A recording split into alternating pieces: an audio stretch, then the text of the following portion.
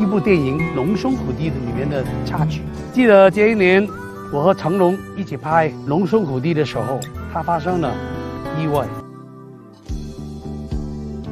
繁星流动，和你同路，从不相识开始心接近，默默以真挚待人。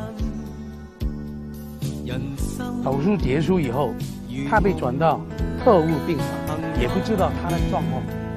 我们心里担心，又不能进去，我就想了个办法，在病房外面用口哨吹起朋友。正是你，遥遥晚空，点点星光，息息相关，你我哪怕荆棘布满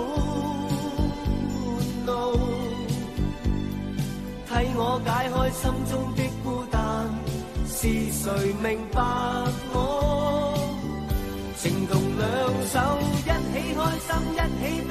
彼此分担，总不分我或你。